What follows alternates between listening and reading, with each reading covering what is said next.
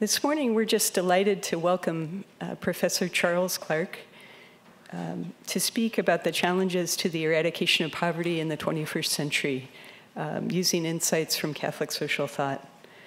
Professor Clark is Senior Fellow of the Vincentian Center for Church and Society and Professor of Economics at St. John's University in New York.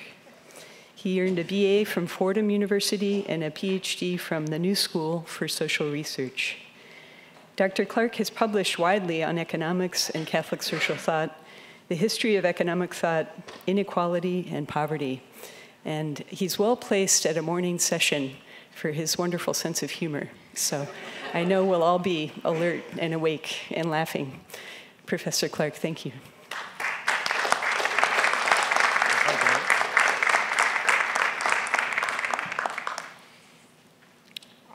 I actually never tell jokes. I'm always serious. just the reality is so absurd, it just sounds funny. Uh, thank you so much for uh, the kind introduction. Uh, an early economics lecture for theologians is as close as we get to redemptive suffering. so hopefully, hopefully you'll get something out of it besides time off in purgatory. Uh, very nice to be here uh, at Notre Dame. Uh, this is a very lovely room. Uh, particularly want to uh, say how glad I am to be at Notre Dame because one of the biggest influences on my work was Professor Charles Wilber, who taught economics here for a long time. Uh, and I had read his work as a graduate student on methodology, but it was when Economic Justice for All came out the U.S. bishops put out a series of videos. Uh, and I remember him being in one. I was, went with my mother to my uh, uh, local parish and gave me a sense that you could do something in economics that uh, was in line with the mission, that the economists weren't the, didn't have to be the opposing faith or, or the evil art. Uh, so uh, I'm, I'm glad to be here and and I hope he's doing well now in, in his retirement. Gives us hope also in retirement. okay, what I'm going to talk about is actually uh, a hopeful story, uh, and what I think is one of the successes uh, of Catholic social thought. Not that Catholic social thought was uh, caused what the change in how we think about uh, poverty and development, but it certainly played a role, and it played an early role in, in promoting a wider understanding of not just poverty, but of humans as economic actors. Okay, so I'm going to talk briefly about what Catholic social thought brings to understanding the economy. Uh, I have a little tweet that sums up actually the whole presentation. So we just tweet it out, call it a day. You know. uh, then I'm going to go over how economists have looked at poverty and some of the limitations in, in that. Uh, and that's what Catholic social thought, I think, helps to uh, fix. Uh, but mostly economists look at e poverty as a problem of not enough economic growth. And so if we just get enough economic growth, all problems are solved. And so then I'll look a little at why that hasn't worked and what economists are missing. And then I'm going to look at the, the hopeful signs, and that is some of the new directions in anti-poverty programs, particularly uh, development programs, that are much more in line with Catholic social thought than they are with the traditional way economists look at the world. Uh, I'd like to start off with uh, to make it clear that Catholic social thought is not an alternative economic theory, it's not an alternative economic system. There is not a Catholic monetary policy. Uh, Catholics could disagree on economic policy. Uh, and economic policy is very much contingent, as John Paul uh, frequently mentioned, on time and space. That is, on the context there isn't one economic policy that will work at all times in all places. And there isn't one economic theory that will explain all times at all places. And so this idea that we have policies that might work in the United States and we can just impose them on other countries and they'll become just like us uh, is not only arrogant, it's just not accurate.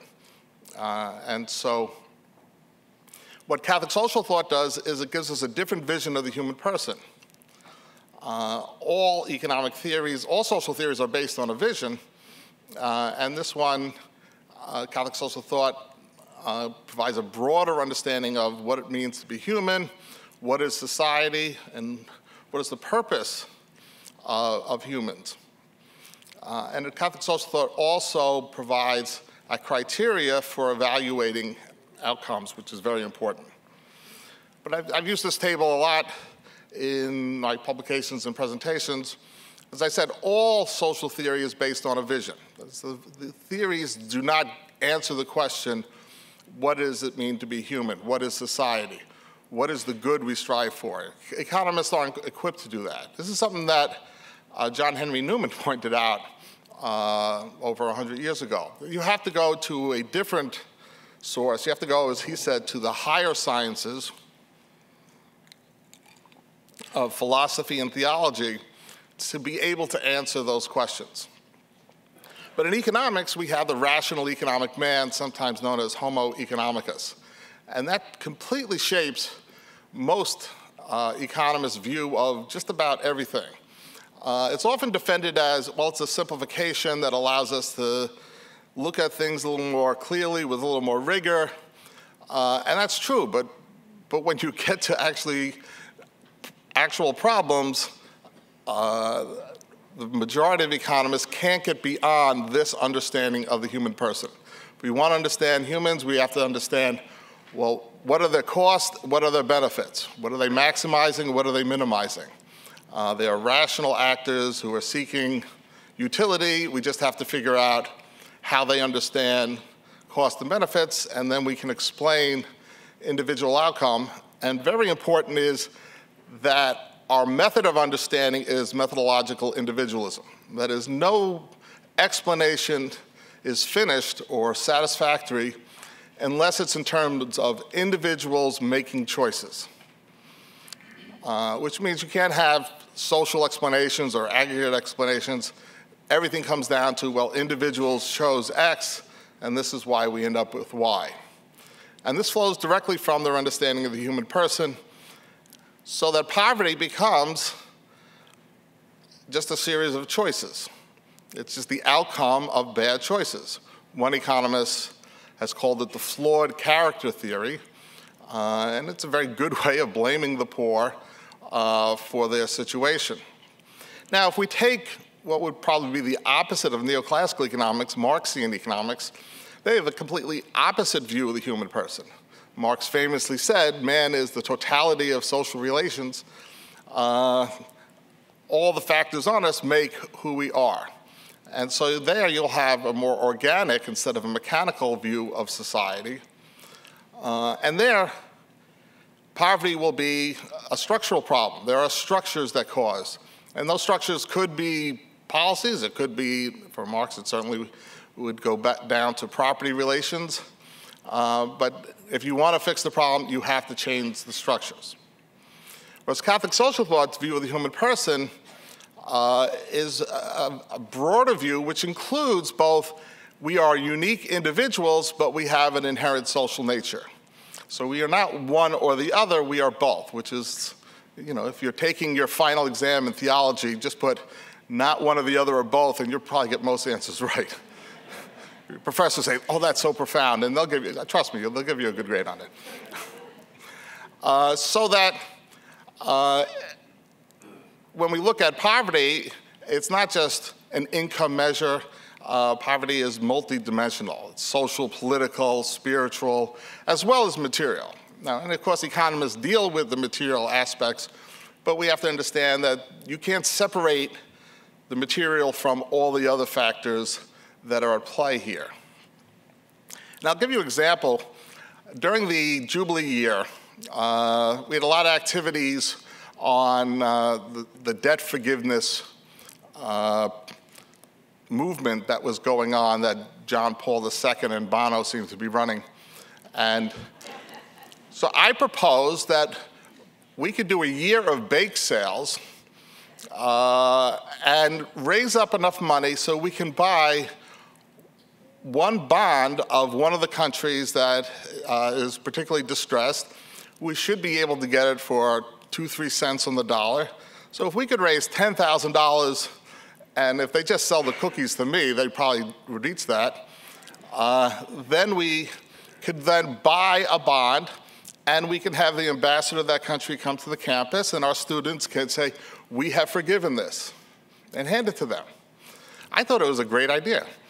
Uh, and I, I, but I couldn't figure out the mechanics, so I teach in the business school. So I, I asked almost every economist, every finance professor, how would you do this? And they all agreed, yes, you could do it, but why would you? Uh, and the most common thing is, well, once you held, had the bond, you should hold on to it, because these countries are going to get bailed out, and you'll get paid, you know, 50 cents on the dollar, and you would have paid 2 cents on the dollar. In fact, we would have been taking an option on the poor instead of an option for the poor.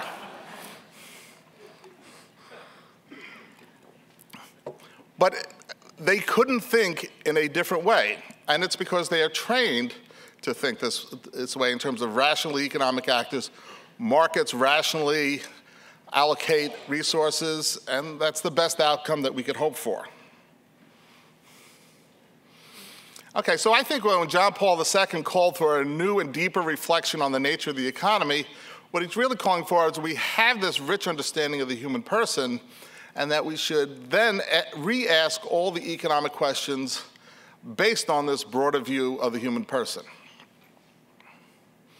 Okay, so Catholics also thought, besides prioritizing the poor and the marginalist, asks us to go beyond. Of course, it, we start with the poor and the marginalized should be our primary concern.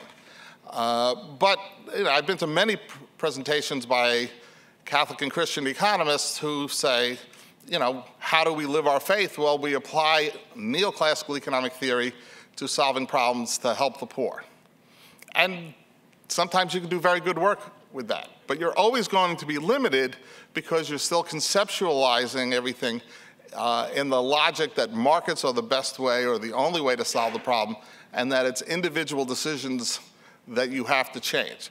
Now, often you do make the change individual choice, but you also, to do that, you have to change the range of choices people have. Uh, and so the assumption that everyone has uh, white middle class choices and they just chose badly. Uh, I was at one meeting where an economist said, well, the problem with uh, food stamps benefits running out early in the month is because the poor, like a lot of us, have a hard time with their time preference. You know, they're just valuing now more than they are the end of the month, and so they spend the money too quickly. And he recommended that they have food stamp cards that give only a certain amount each week. So in the fourth week, they would have one fourth of their benefits. The idea that the benefits are inadequate to provide food for the month was just outside of his conception. Uh, you know, so if we can just treat people like, you know, our pet gerbil and just give them a little food at a time, we can make better choices. Well, there's a long tradition in economics of doing that, that the problem is the poor make poor decisions. We have to make those decisions for them. But as I, but as I, I believe, Catholic social thought asks us for a broader understanding of poverty, and particularly what John Paul has emphasized, is that poverty and inequality is exclusion. Uh, and that exclusion is, the, is the, getting rid of the barriers that exclude and building pathways so that we can include people to build up their capacities, to open up uh, not only our conversations, but uh, open up economic relations so that they can participate, that that is the, the only path forward because it's raising up the development of people instead of just we're going to produce more output in your country so per capita income is going to go up. Uh, participation is a big factor, very important factor in Catholic social thought because it's humans playing a major role in their lives. Uh, I think John Paul II said to be, you know, the lead protagonist in your story, or you know, he has an acting background. Uh, but you know, it's not just giving people enough so that they have, so they're not hungry, that they have adequate housing. All that is important, but that, that they are uh, agents in their own lives. Uh, that's as important. And that exclusion is inefficient for society as a whole. We are all poorer because the poor are excluded. Uh, there's a recent study that, that said that, that concluded that genius is randomly spread across the population. Well, if that's true, well, we have, you know, billions of people who are just taken out of the equation. You know, so the person who could have cured a lot of diseases never had the opportunity to even get an education. Uh, I once worked in a factory uh, on an assembly line next to an older African American man who was in his 60s. I was, I think, 17 or 18. Uh, he had a second grade uh, education, uh, and we spent the whole time when we were on the same line together, it was about a month, talking about Plato. And it was very clear that he was the person who should be at Fordham uh, studying philosophy instead of me, because he was he he had a great brain, he had deep insights, uh, but he would he had no opportunity growing up in Louisiana uh, when he did, uh, and this everyone is poor because of that. Okay, now economics had a brief period where it looked like they were going to solve the economic problem and raise everyone above poverty. From 1750 to 1800, the two great economists, Anne Robert Jacques Turgot, the French economist, and Adam Smith, had this idea of universal progress, that it is possible to raise the standard of living of everyone, and that this progress extends to society, cultural progress, besides technological uh, and material progress. And of course, Adam Smith wrote a whole book. Turgot didn't produce as much, but he wrote a whole book explaining how if we had, if we got rid of the barriers, which for him, the barriers were the mercantile policies where the government gave preferences to businesses who had political connections, that, and allowed everyone to compete in a market that the great inequality that existed would decrease, uh, and that everyone, the vast majority of whom were poor, would be lifted up. And you know, Adam Smith uh, in, in The Wealth of Nations writes, no society surely can be flourishing and happy of which the greater part of its members are poor and miserable. Uh, and so, you know, it's often pointed out, Smith has this great optimism of what could be achieved. So this, what he called society of perfect liberty, but free market capitalism is what we probably would call uh, the Enlightenment felt that this would bring both prosperity and equality. And that was uh, the hope and the expectations. But of course, then the Industrial Revolution hits. Uh, as Werner Stark wrote, the bourgeois ideal runs into capitalist reality, and inequality greatly increases, uh, partly because of the need for capital intensity in this new mode of production in which you would have a smaller and smaller number of people owning the, those means of production. So the optimism ends around 1800 or 1799 when Thomas Robert Malthus writes his essay on the principle of population. Uh, he was actually arguing with his father about the perfectibility of, of mankind, uh, and he argued that we could never eliminate poverty because every time there's an increase in output, particularly an increase in food, the poor will procreate to eat that food so that the per capita amount of food will not go up. Uh, technically, if per capita food goes up, you can have more people leave the farm, go into manufacturing, and that's the growth process that Adam Smith uh, and others were talking about. Malthus offered two solutions, one of which was you could convince the poor to have less children. He thought there should be a lecture when they got married, only have two children. Uh, so a little moral uh, restraint will solve the problem. But if that doesn't work, then we have to find other ways to encourage uh, or prevent the expansion of the population.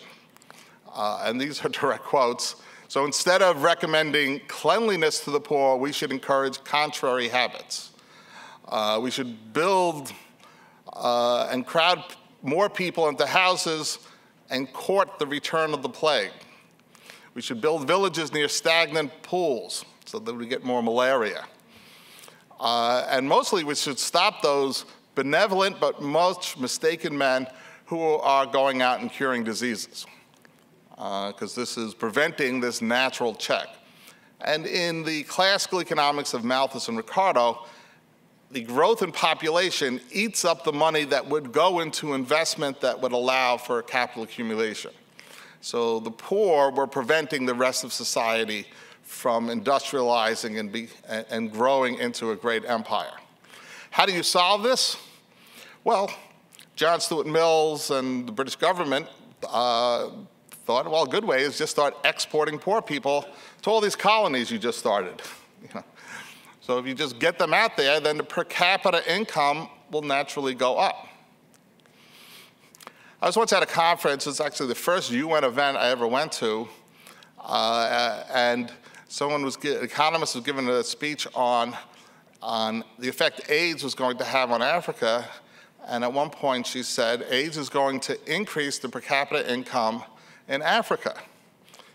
And, and matter of fact, and then just went on, I raised my hand in the back and I said, Excuse me, could you explain how AIDS is going to raise the per capita income in Africa? And it's, well, it's simple. And she writes out the equation because per capita income is output divided by population. Because she doesn't have to say that population is going to go down because of AIDS. Everyone knows it's going to go down because of AIDS. But that was, she proved her point.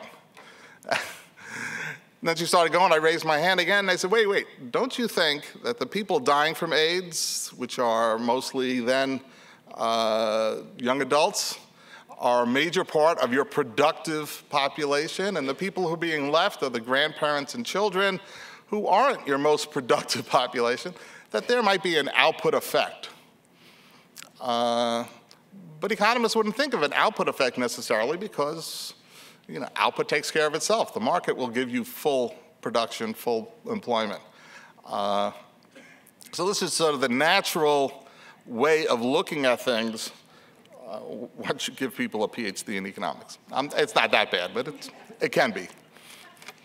But in the 20th century, we find a great success story in that the, the uh, European, North American, uh, the countries were part of the Organization for Economic Cooperation and Development, the top 20, 25 countries, uh, created societies in which the poverty was a minority. You know, we have a majority, middle class majority society. So economic growth and this thing called the welfare state did a tremendous job of dramatically reducing poverty in these countries uh, post World War II. And so the great insight was, well, we just need to promote economic growth in uh, poor countries and as well as promote it at home as a way to reduce poverty that lingers in all the rich countries, particularly the English-speaking rich countries. Uh, also, economic growth was the solution to the rising pollution and environmental concerns from the 1960s and 70s. Uh, you might think that economic growth is causing the pollution, and that might be true. But as people get richer, they value cleaner air more. And at some income lev level, they are willing to pay for cleaner air. So if we just get everyone up to that level, then we can start having a cleaner environment. People will choose clean air over polluted air, clean water over polluted water. We just, it's a normal good. We just have to find the income level to get them there, and then we, pollution will take care of itself. So, for the mainstream of economists, every issue is a nail, and economic growth is the hammer.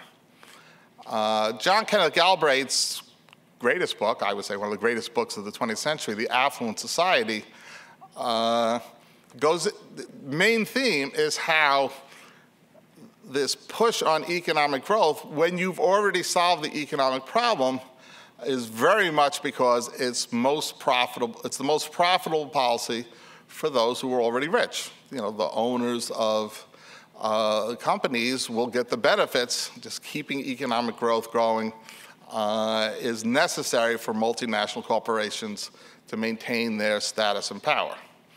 Uh, but the Harvard economist Benjamin Friedman recently wrote a book, The Moral Case for Growth. Uh, with climate change, the case for growth has gotten significantly weaker. So instead of saying this will raise people's standard of living, it will make us more tolerant. It will promote social mobility. We'll be dedicated to democracy. And we can see that democracy is really doing well in the rich countries right now. So good job, Mr. Friedman. But, but this is the economic lessons part of, of the lecture. So most economists look at economic growth from what is the Solow growth model, which is you have savings, and the idea is savings comes from people not consuming, but in reality, savings comes from people who can meet their basic needs and have a surplus over that. So the way you increase savings in a society is to increase income inequality. This is supply side economics, trickle down economics. Give the money to the rich, they'll invest it, and then we'll have economic growth, and that will allow everything else to improve. Now, for poor countries who don't have sufficient income for savings, the case is, well, then foreign direct investment will do that. So that's FDI. So large companies will invest in these areas, and that will be just as if they had saved and invested. The key is that that investment is all guided by the marketplace. That you need a capital-friendly environment to encourage the private sector to come in and invest in these countries. If the public sector invests, they'll do it for political reasons, and so the money will not be used most efficiently. But the private sector will use it in what will produce the most profits, and that is pr practically the definition that we would use, or certainly the operable definition we would use for efficiency in economics. To promote this, the World Bank and the IMF instituted, particularly in countries that had economic problems, usually balance of payment problems or debt problems, uh, is they instituted structural adjustment programs, and these were policies to force capital-friendly uh, environment. The idea is what you need is free flow of capital into the country and free flow out so that you'll encourage money to come in and it will be used most efficiently. Of course, this also meant that you had to promote austerity with the, with the budget, cut government spending, Particularly in Africa in the 70s and 80s, it was cutting education and healthcare spending so that they could better pay back debts that have been borrowed by crazy dictators uh, in the name of extremely poor people. This, of course, didn't work. I mean, the, you could find in the literature the 70s being called the lost decade of development for Africa. You can find articles on the 80s being the lost dec decade for Africa. And if you're halfway through the 90s, you will find people writing about the 90s being another lost decade of development for Africa. So just encouraging investment in a way that makes it capital friendly uh, was not a successful strategy. Partly because you were cutting your investment in people. Uh, and as I like to say, sick and stupid is not a good development strategy. You know, investing in people, giving them health and education is a much more successful way to raise the standards of living, just in pure economics, but in terms of social progress, uh, it's even more obvious. Often capital friendly meant it's easy to avoid taxes. Uh, and it's pretty universal that countries who give aid get a lot more out of the countries they give aid to than they give in aid. An extreme example, I was on a panel in Ireland and an accounting professor had done some research on Malawi. And Ireland has a close relationship with Malawi and they had uh, given 8 million euro uh, a couple of years before to Malawi on different development projects. And you know, Ireland's not a big country, this is a big contribution for them. Uh, And then she pointed out through one tax treaty that Ireland has with Malawi, uh, they allowed a South African mining company, which had an office in Dublin, to book all their profits through that office and avoid 140 million in taxes they would have paid to the Malawi government. The Malawi government doesn't need Ireland's $8 million. They need the 140 million uh, taxes that should have been paid for mining in their country. It is not uncommon for multinationals to have a negative tax uh, operating in Africa. That is, they'll have a tax, let's say, of a, a million dollars, but they get rebates of 10 million from the government. Uh, often this is done, they're given free energy because the energy bill is bigger than what they contribute uh, in taxes. The Yankees have the same deal in New York City, but New Yorkers can afford it. But, but another problem I, I would argue is increasingly becoming understood is that what we think of as capital is just too narrow. Now, in economics, economic growth and capital accumulation are the same thing. You know, you, you would see books on theory of capital accumulation. That's a book about growth theory. But if you reduce capital to just finance capital or manufactured capital, tools, machines, buildings, uh, you're missing what you need to invest in to have a productive society. And so it's becoming much more common to talk about the five capitals to include not only human capital, which most economists are, have accepted and are, is part of the, the mainstream discussions on economic growth, but also natural capital fully uh, measured. That is, not just the monetary value of resources that you extract, but the effect that you have on the environment. So adding in the cost, the externalities, of what and how you uh, uh, extract resources from the environment. But social capital is as important, if not more important, for a sustainable and growing uh, society and economy. So investing in communities, investing in you know, honest government, these are more important than building another hydroelectric dam. Uh, and even now, the, the, the, World Bank is coming out and uh, arguing that we have to take a broader look, because capital is what we're going to invest in. And what are we going to invest in? Well, we want a full range of what we need, even if it's something that we can't measure the benefit. You know, we know that raising children is a huge benefit to society. We're not going to measure the, the monetary benefit or the monetary cost of that accurately.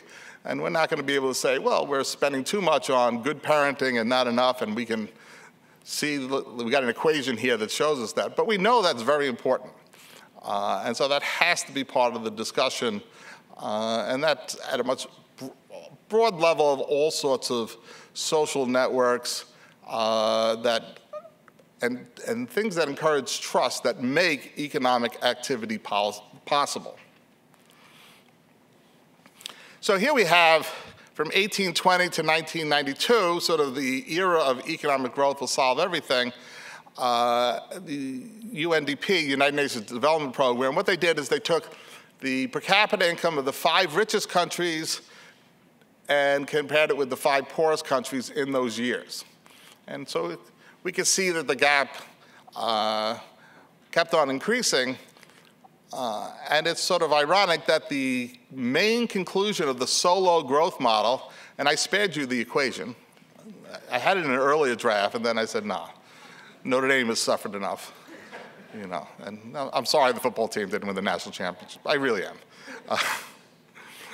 Uh, but that the, the, the, central conclusion of Solow's growth model is that there will be convergence between the rich and poor countries.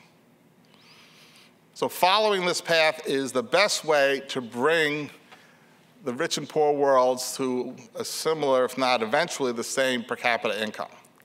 And so obviously that did not happen.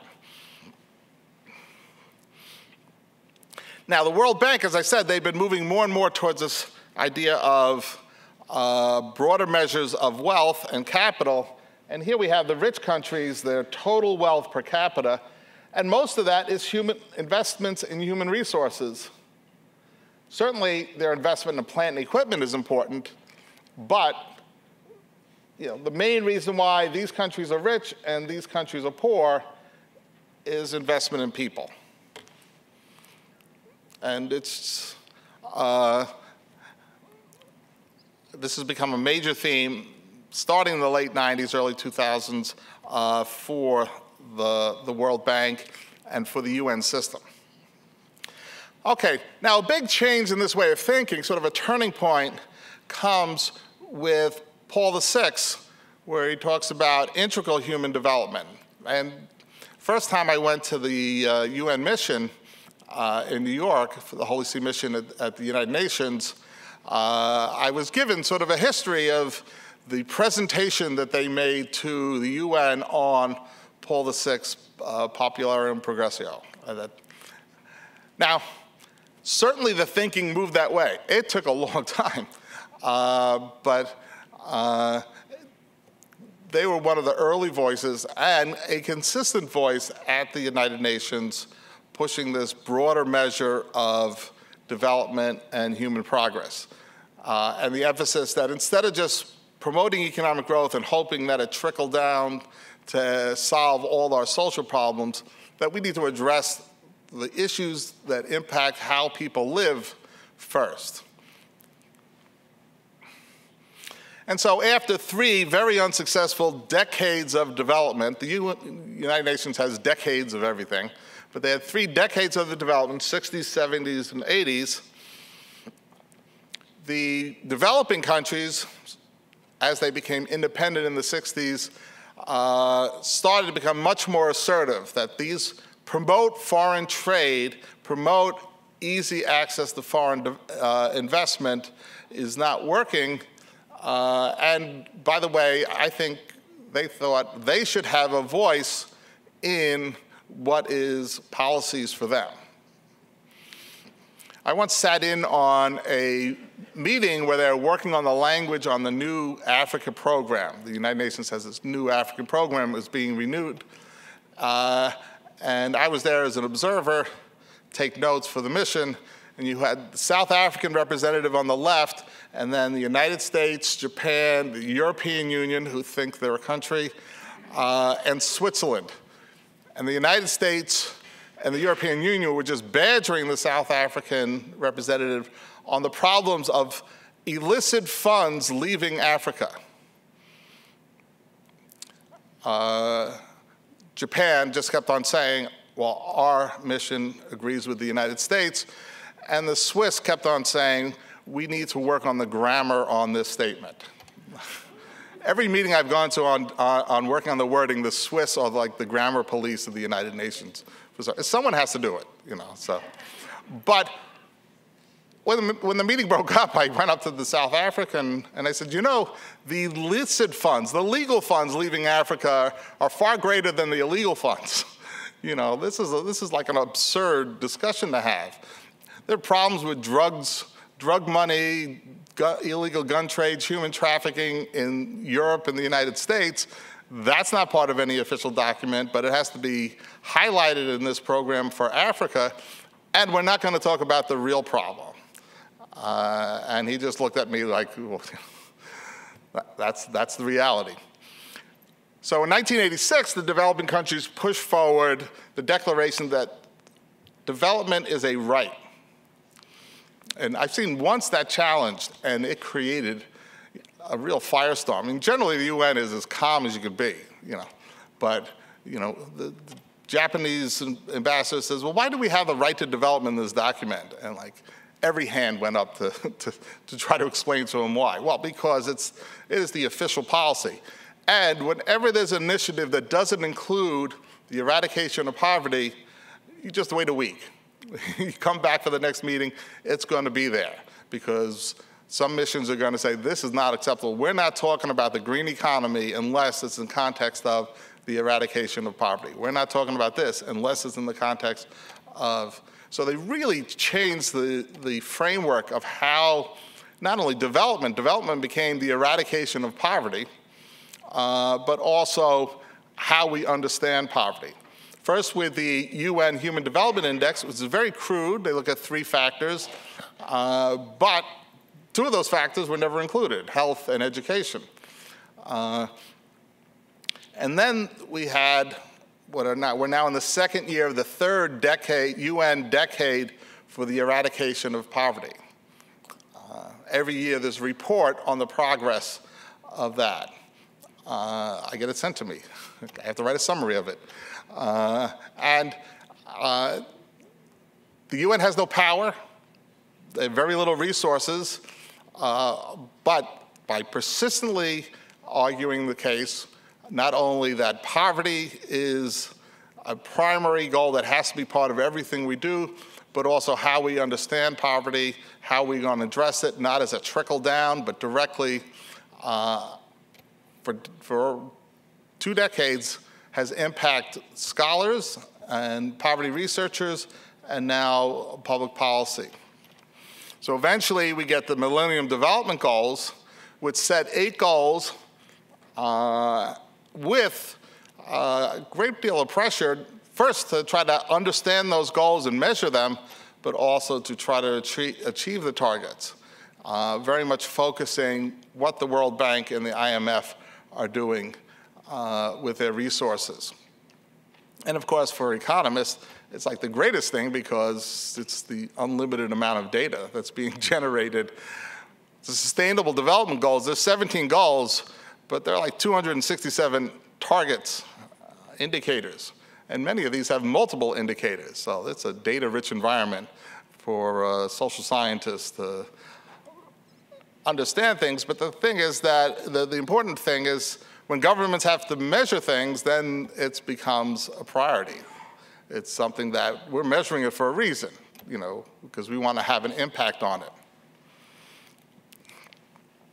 So I'm going to go over some of these, what I think are, are really exciting developments. And one is this multidimensional poverty index. So the poverty, instead of just being a $1.90 a day uh, threshold or in European countries, 60% of mean income. In the United States, we have a poverty index, uh, official poverty rate that's based on an agricultural budget from the 1950s, adjusted for inflation. It's a ridiculous measure. I've never seen anyone defend it, but no one's changing it.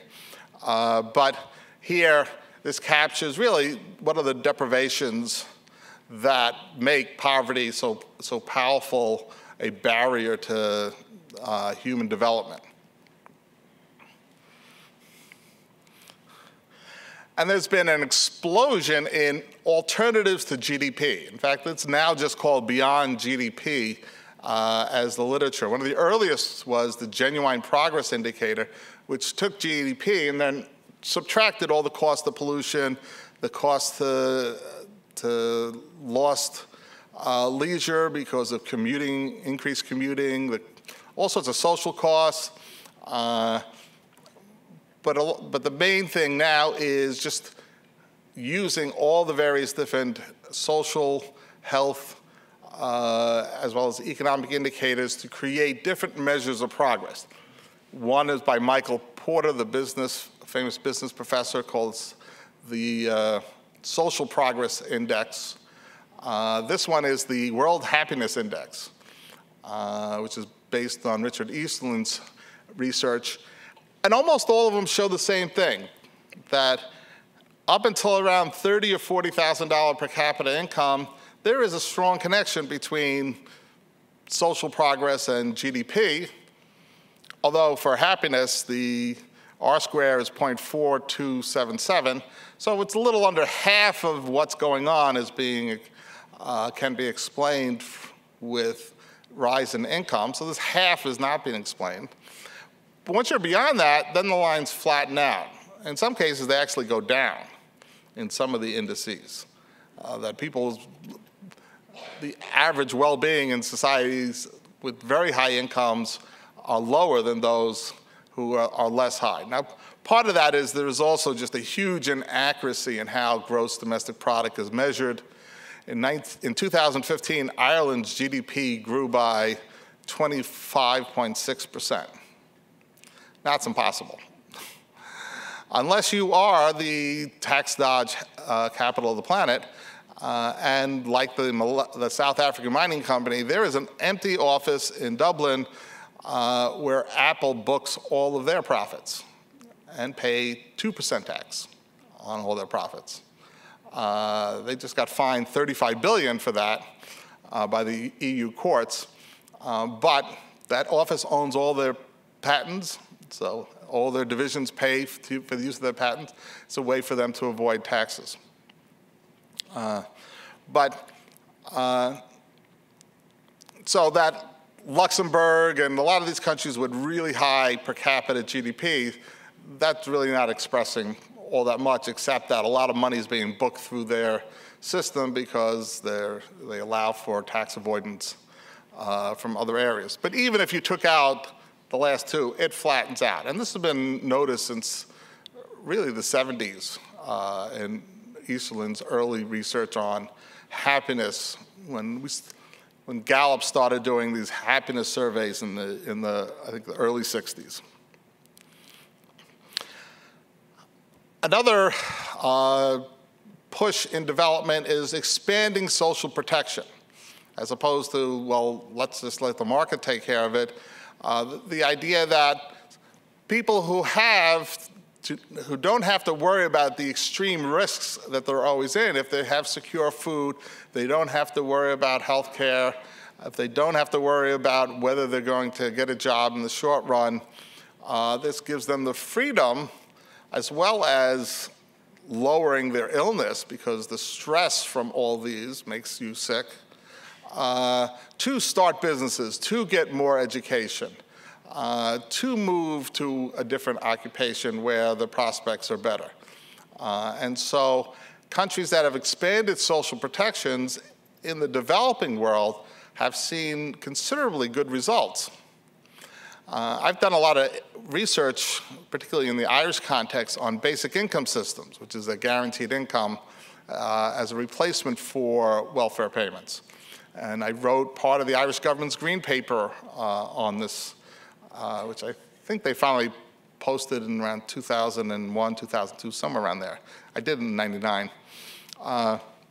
And people would ask me, well, how would this work in a developing context? And I always said, oh, I don't see how this could possibly work in a poor country. This is what rich countries should do to allow uh, for this new economy with the problems of technological change, et cetera. Uh, and I was completely wrong. You know, They've been very successful. Brazil had a very successful program and cut poverty in half. Mexico had a program where you got a family grant as long as the children went to school. So an, the criteria was they had couldn't miss too many classes and they had to go for a checkup either once or twice a year. These are not harsh conditions. Uh, this is not like the U.S. government saying if you want food stamps, you have to uh, work for them have workfare for, for food stamps. Now this is unconditional, do it whatever you want, as long as your kids are in school uh, and seeing a doctor uh, twice a year. Uh, and these have been very successful. And one of the biggest successes is in new, new business formations. Uh, and so in Africa, they are looking at these. We have experiments running, but they're also looking at uh, old age grants so that people a certain age will get sort of something like our Social Security. Uh, and of course, all of Europe has child benefits. And so they're looking how can we expand child benefits as a way to get children out of poverty and that would raise also the households. And so the last couple of years at the UN, a large percentage of the, they call side events during the, the meetings are on uh, case studies of these new social protection programs. And of course, uh, the best way to help poor countries is to stop stealing from them. It's, it's, I don't know where I came up with this idea. Uh, must have been the drugs in the 60s. Because I lived in the 60s, but I was 10 when they ended, so I guess I can't say, can't blame Woodstock for everything. Ah, you could try. But uh, when, when Benedict said charity goes beyond justice, Uh, that really helped me reframe whenever I talk about uh, poverty, particularly in a development context.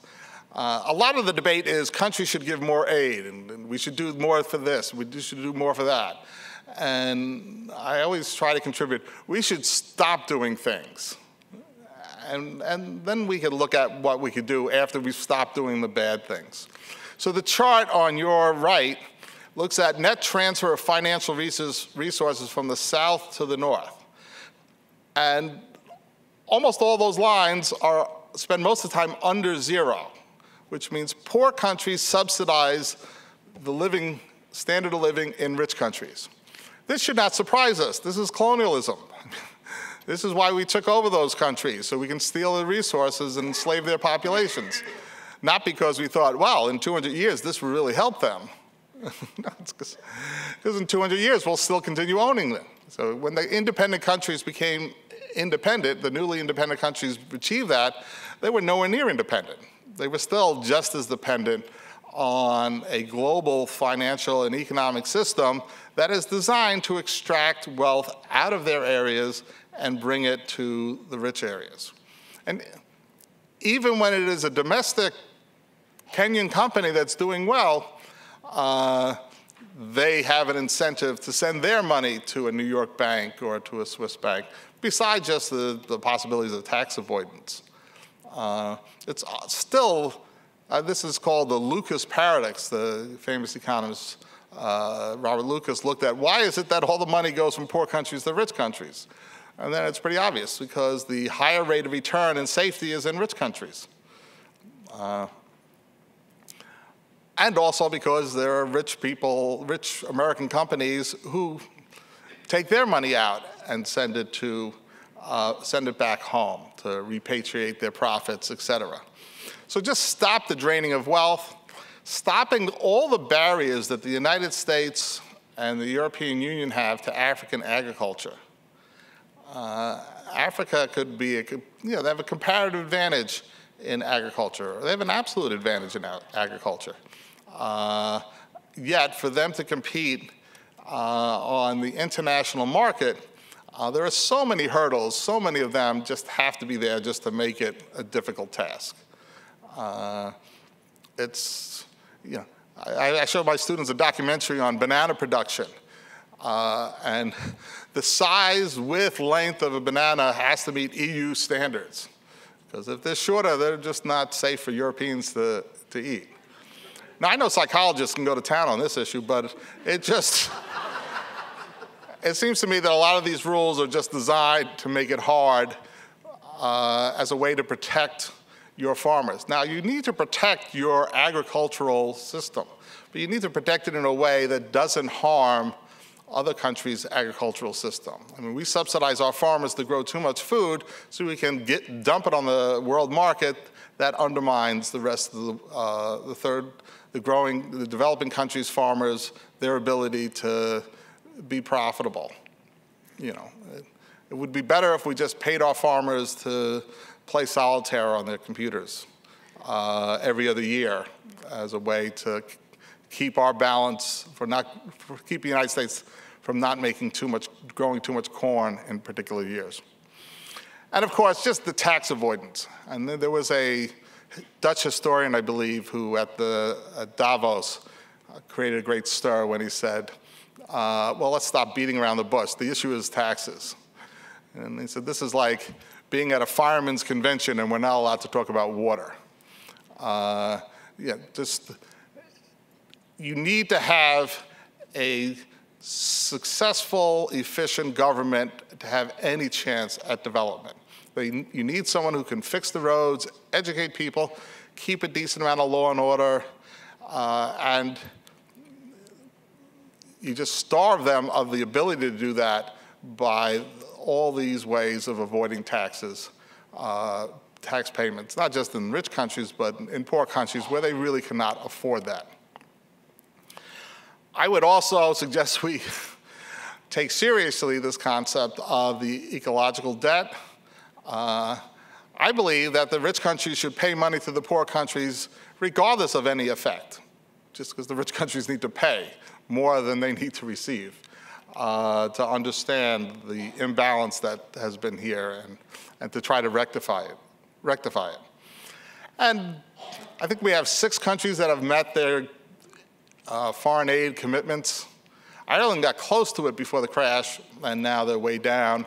The group I work for is trying to put pressure on, uh, no, is putting pressure on them to try to get back to hitting 0.7% of GDP. Uh, but this is not a major imposition on governments. Uh, a slight reduction in world military budgets would more than fund uh, all the development programs you could think of. You know, so it is, it, it's, in terms of reallocating resources, it's not that complicated. But in terms of reallocating resources, it's really complicated because of the ownership and control of the resources. But I think that uh, I'm hopeful because these are the dominant voices working in development. They've taken over much of the World Bank. Eventually, they'll take over uh, the IMF, uh, and they're setting the academic agenda uh, and they're influencing uh, policy. Uh, not as much as we would hope, but that's the direction. And I think a lot of it comes down to this push to look at humans as more than uh, rational economic man. So just recovering from what you learned in your Economics 101 class. And that's what I'm here for. Thank you very much.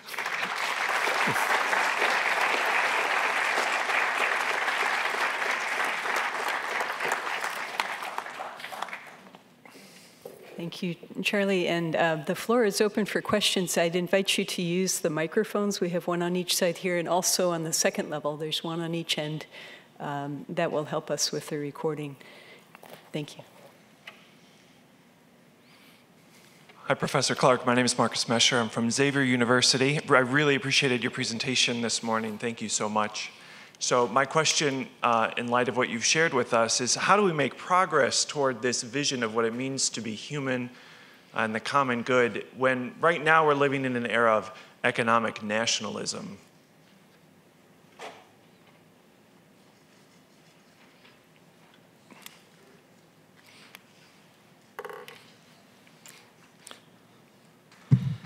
Well, I think a re-election of Donald Trump will kill any desirability of nationalism once and for all for all human history. But that's probably too much too much of a risk. Uh, well, actually, I think the anxiety uh, and anger that brought us Donald Trump and brought us this nationalism is because so many people have been left out of this huge, prosperous uh, economy. And you know, they see around them all these developments. They hear on the news how great Wall Street's doing, they look at the coasts and things are going well there, and they're being excluded. Uh, so I think the, the issues that drove Bernie Sanders uh, supporters as well as uh, Trump's were this inequality caused by an economy that only benefits a small number of people.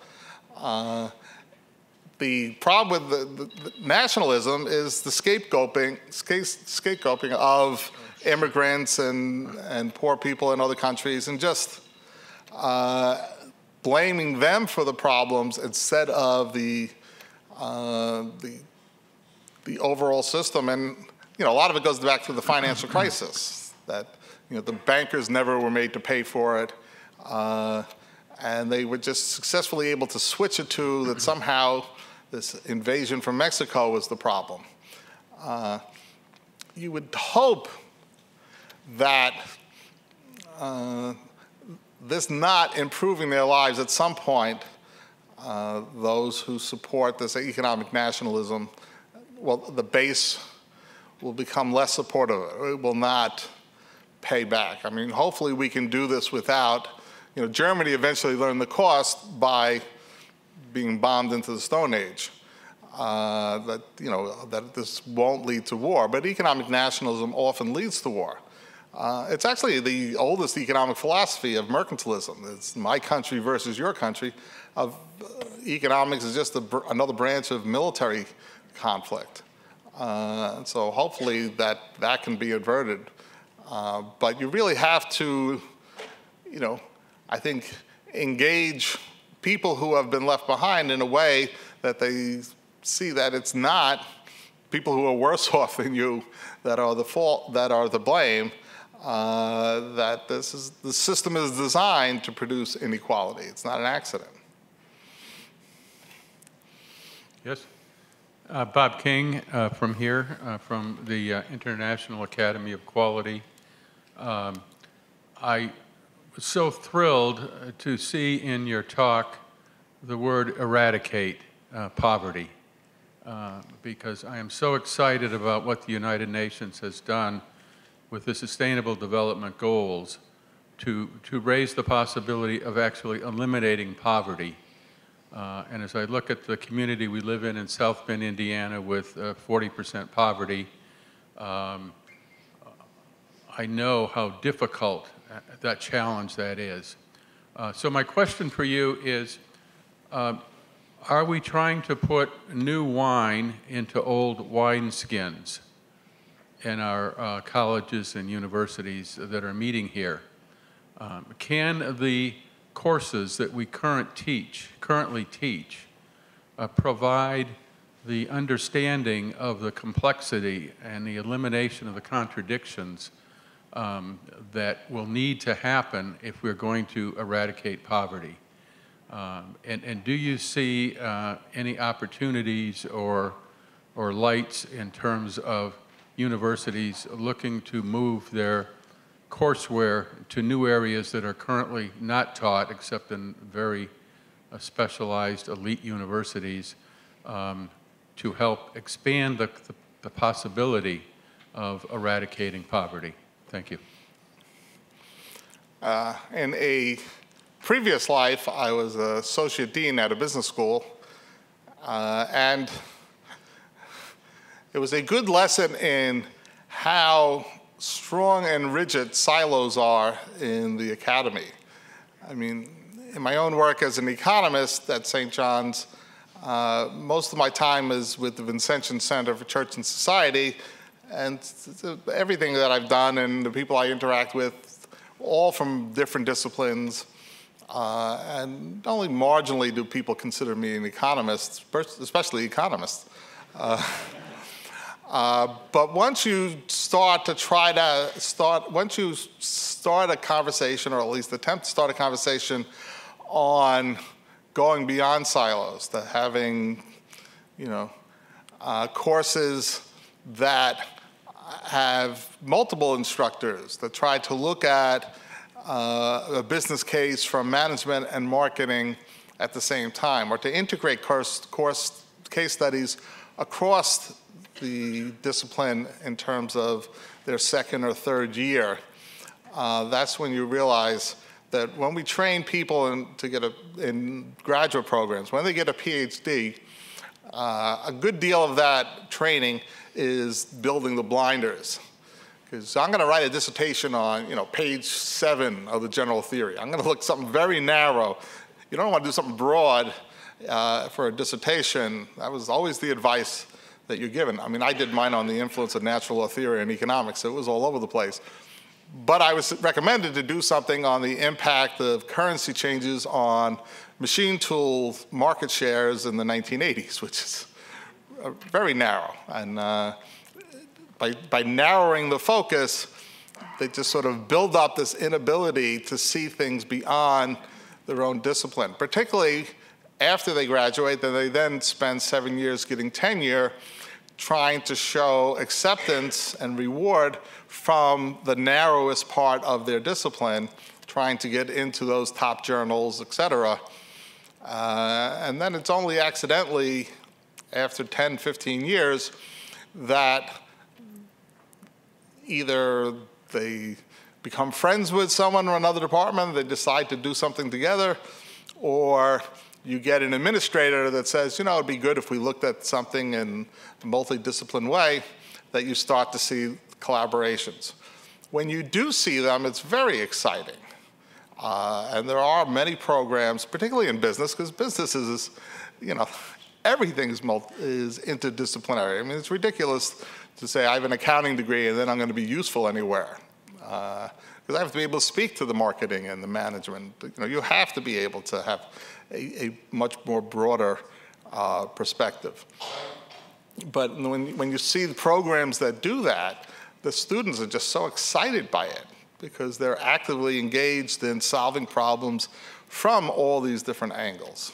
Uh, and, you know, it's, for business schools, we have accreditation agency that tries to encourage that.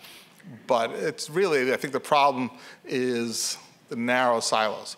I propose getting rid of all departments and just have a faculty of the business, and then you would have areas of expertise that would evaluate the quality of people's work. And they could be in any field as long as they're experts in, in this issue. Uh, but obviously that, they didn't make me dean and, and make that happen. Hi, um, Patrick Clark, University of Scranton. It's a remarkable presentation, remarkably good, mm-hmm. uh, powerful, insightful. Um, my question's related to the last in, in, in, a way, it's a methodological question. Um, as a theologian, I have something of a uh, fear or ineptitude, maybe suspicion even, of um, the presumption that um, statistics and quantitative data, quantitative research will be able to uh, adequately address issues of uh, justice, development, et cetera. Uh, but every time that I encounter somebody who's able to properly uh, deal with the data and statistics, it's remarkably insightful. Um, so, but it seems as though you also would agree that there is, at some point, goods and maybe even conceptions of capital that cannot be adequately captured through quantitative data.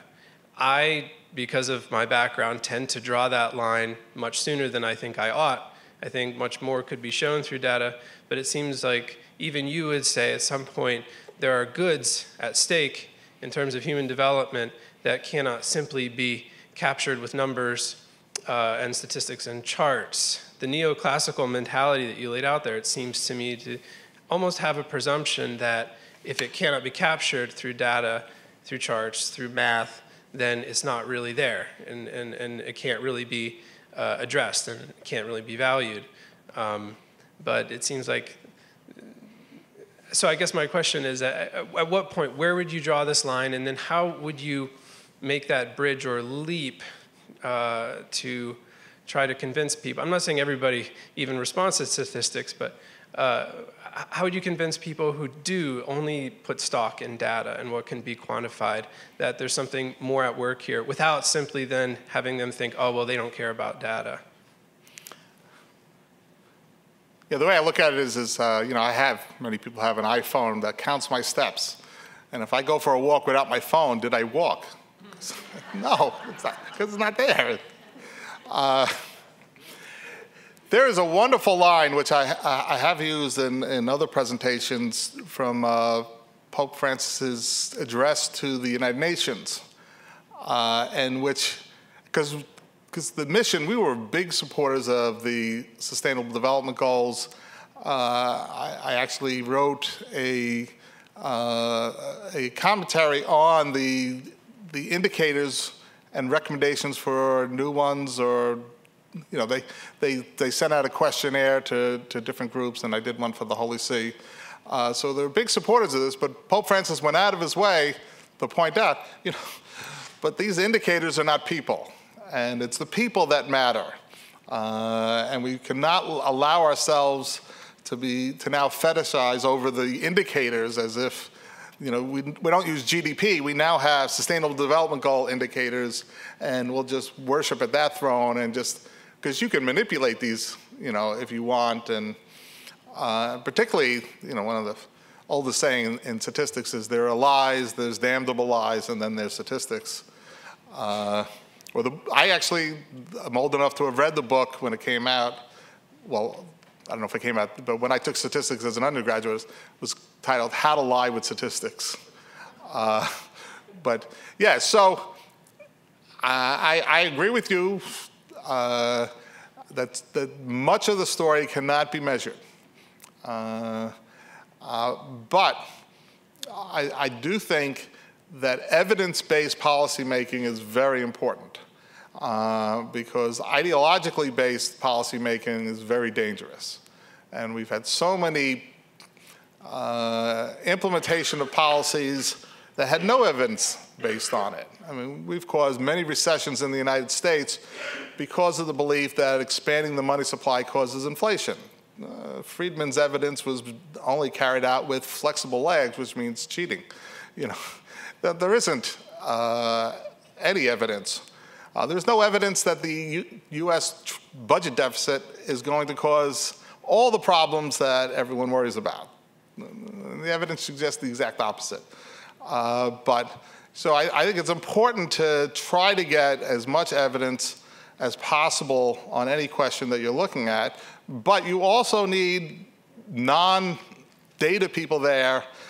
Particularly, you need people with the lived experience to inform what you're doing. Uh, instead of having you know a bunch of data people like me go to an area and say, okay, here's your problem, here's the solution, it should be more like, we want to listen to you, have you determine what we're going to try to measure, uh, how we're going to measure it, and then try to inform decisions that you want to make so that data becomes the servant instead of the master. But yes, it's, it's incredibly difficult, particularly because the people who are data people tend not to like to talk to people. You know, I got numbers. Why do I need to talk to all these people? Charlie, we have one more question here before Okay. we wrap up. It's, it's a very short question. Actually, I'm Matthias Nebel from uh, Mexico, from the state of Puebla. Um, I'm wondering throughout all the, all the, all the conference, something is missing. And the, the, what is missing is the state. You're presupposing all along that the state exists. But actually, in most developing countries, you have more population than state. You have more territory than state. So that actually state, the state, the, the major agent you know, of economic development in a country is helpless. In Mexico, where I live, the informal economy is 60%, over 60%. Means that the state has no control of this. And you have much more population than state. And it's not one of the state building is not one of the items on your list here. So I'm wondering, is that intentional or is that just the elephant in the room that we are not looking at? Now, I can blame my poor hearing on the 60s, or at least on The Who. Uh, so I didn't catch everything, but I, I think you were talking about the, uh, the lack of effective states or governments in these countries. Is, yeah, okay. Yeah, I can just, yeah, I'll just clarify. Um, he was asking about state building and noting that, for example, in Mexico, um, there's a large informal economy and uh, that we need to attend more to the reality of the state. Oh, yeah. Well, actually, I, I, when I was working for the Irish government, it was when they were going into the eurozone, and they were uh, discussing whether they should adopt the the euro.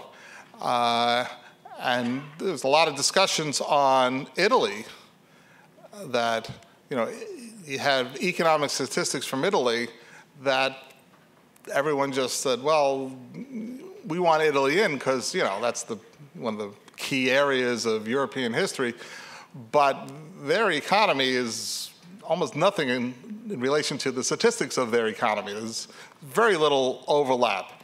Uh, on paper, Italy is terrible, but if you live with an Italian for any amount of time, it's like this is a nice place. They have a nice life. Uh, so they're a very big informal economy, and that's true of many places. And you don't necessarily, uh, the informal economy doesn't necessarily mean the illegal economy, as you would have in many places in the United States. You know, a lot of it is just outside of market. It's related to family and connections and other sorts of networks that have worked for a very long time and been very successful. So you need a way to measure progress that is based on what works for different areas.